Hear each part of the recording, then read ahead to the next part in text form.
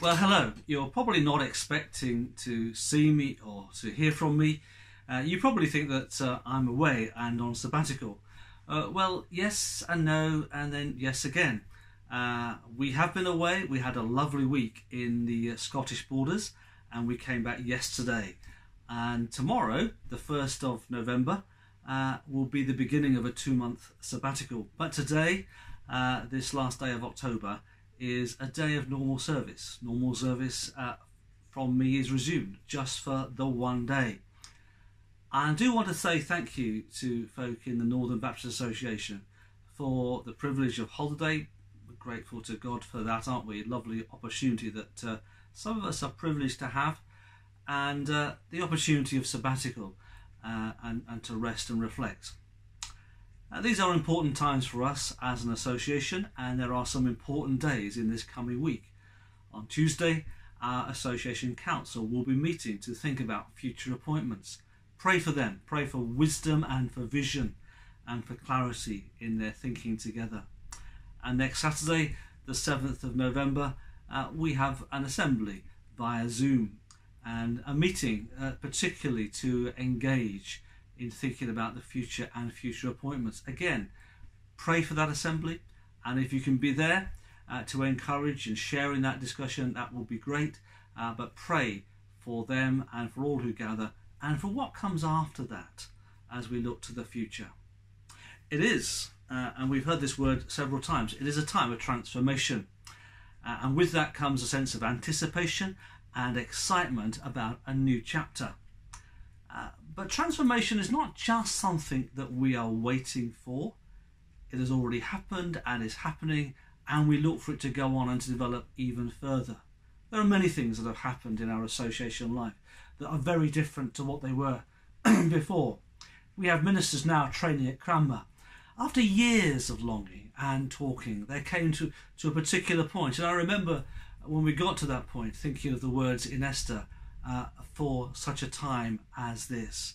And as an association, we engage in a partnership with Northern Baptist College in order to enable people to uh, train for Baptist ministry at Cranmer Hall in Durham. It came to fruition and has transformed us already in certain ways. Uh, we've recently appointed a new moderator, Tony Ruddle, and even more recently, a new uh, treasurer, Gavin Monument and we're looking next year to also appoint a new safeguarding officer with thanks to Lynn for all that she has done over the years. And we're exploring new ways of encouraging our prayer life together as an association. So we look to the future with confidence that a God who has led us is leading us and will lead us on. We celebrate uh, the transformation that's happened, we engage with the transformation that's happening, and we anticipate with excitement what will happen. So, my apologies for not being with you next week, and trust and pray that you have a good and fruitful time. Uh, I'm grateful that during this time of sabbatical, uh, that Paul and Elaine are there and others uh, to help you and, and, be with you. Look to them, and uh, they will either help you themselves or they will find people who can help you. So what am I going to do? Well, I'm going to finish writing uh, a review of a book, this book, about uh, some sermons by a man called Andrew Fuller, who was the first uh, secretary of the Baptist Missionary Society, a big friend of uh, William Carey. And uh, this book of his sermons that he gave at um, uh, various inductions or ordinations comes down, boils down to four basic things that I think apply for all of us love God, love His Word, love His people, and love His work. But I'm also going to be uh, thinking about the nature of what it means to be a regional minister. And, and one of the books that I will look to is a book called Episcope, uh, which is a Greek word, which simply means oversight. It has a chapter by Roy Searle a chapter by uh, former BU president and a former regional minister colleague, uh, Dianne Tidball. And I want to reflect on what is the nature of regional ministry.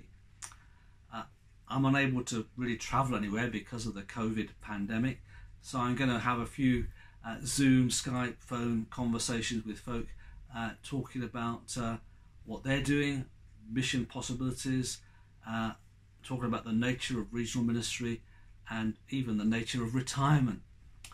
And so I suppose I will anticipate the months uh, leading to my own transformation into retirement and the next chapter God has for me. So, God bless you. And although it feels a little bit early to say this, happy Christmas and a very blessed new year. I look forward to seeing with you, serving with you, sharing with you uh, in January. God bless.